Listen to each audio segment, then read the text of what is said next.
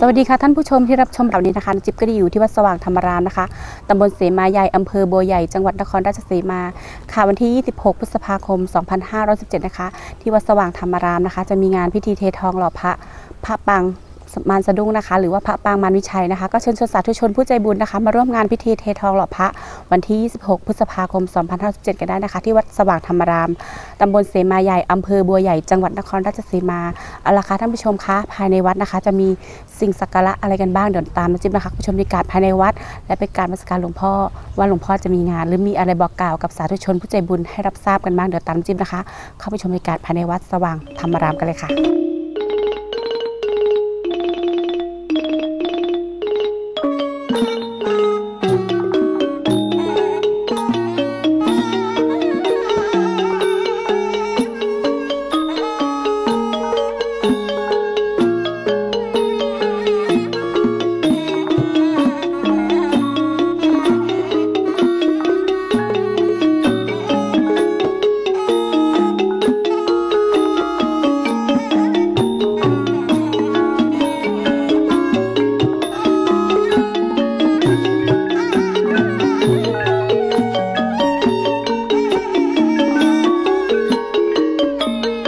ริญพร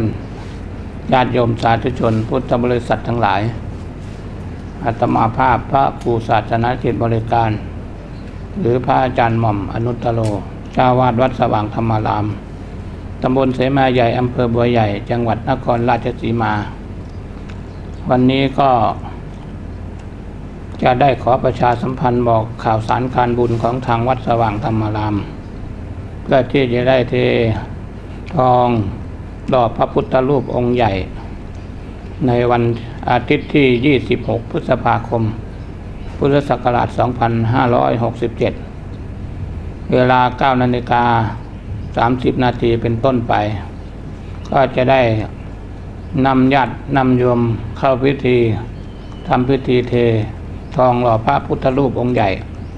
ซึ่งเป็นการเทเป็นปฐมฤกษ์ในวาระแรก พระพุทธรูปที่อาตมาภาพได้ดำริสร้างขึ้นในครั้งนี้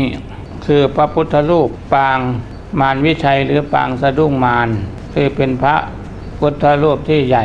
ที่สุดในเขตอำเภอบัวใหญ่ของเรานี้ เป็นปางสะดุ้งมารหรือปางมารพิชัย ก็ที่ประดิษฐานอยู่วิหารกลางแจ้งที่เรากำลัง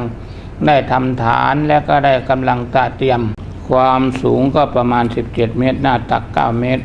การดำริสร้างพระพุทธรูปตั้งแต่ปีพุทธศักราช 2565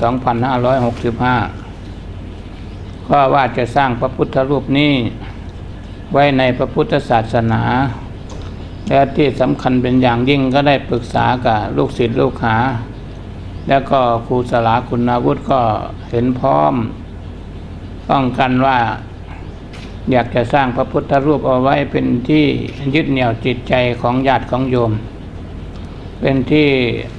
เอาไว้ให้โยมได้กราบไหว้บูชา ทีนี้เมื่อดำริตรงนี้แล้วก็ได้ก่อสร้างมาเป็นเวลา เป็นเวลาเข้าปีที่สอง ก็ยังขาดจตุปัจจัยอีกมากมายพอสมควรฉะนั้นจึงขอบอกบุญกายญาติกายโยม พุทธศาสนิกชนทั่วทั้งในประเทศและต่างประเทศที่เคยมาวัดอาตมา เมื่อรู้ข่าวรู้ข่าวก็ขอเชิญชวนให้มาร่วมทำบุญในวันที่ 26 พฤษภาคมจะถึงนี้ และที่สำคัญอย่างยิ่งทางวัดก็มีโรงทานโรงอิ่ม เอาไว้ต้อนรับศรัทธาญาติโยมและที่สำคัญเป็นอย่างยิ่งก็มีกลุ่มดารานักร้อง นักแสดงบางกลุ่มก็จะได้มาร่วมเททองในวันที่ 26 พฤษภาคมนี้ ฉะนั้นจึงขอบอกบุญมากับญาติกับโยมอาตมาภาพก็ไม่มีอะไรมากมายก็ขอ คุณพระศิรัตนตรัยคือคุณพระพุทธคุณพระธรรมพระสงฆ์ปกปักรักษา